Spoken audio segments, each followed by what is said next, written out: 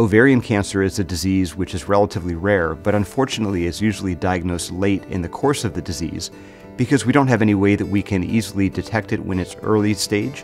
So, from that standpoint, women are very often diagnosed with uh, ovarian cancer once it's spread, and that requires aggressive surgery followed by chemotherapy to maximize their outcome.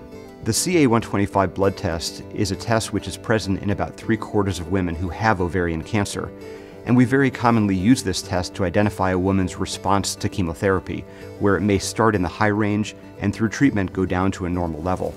This test, however, has not been shown to be beneficial in identifying patients who don't know they have ovarian cancer, so we can't use this as a means by which we can detect the disease early in its stage.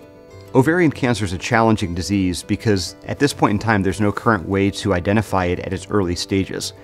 While many women believe that a CA125 blood test may pick up the disease in the early stages, that's never been shown to be beneficial in the general population.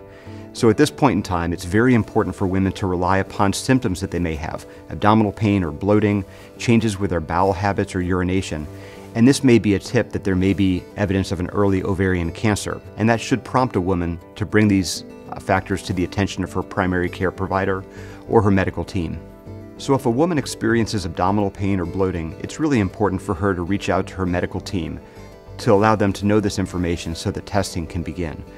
If a physician, nurse practitioner, clinician believes that a woman may have a, uh, ovarian cancer, the next step would generally be a pelvic ultrasound, which is using sound waves to identify whether or not the ovaries appear abnormal.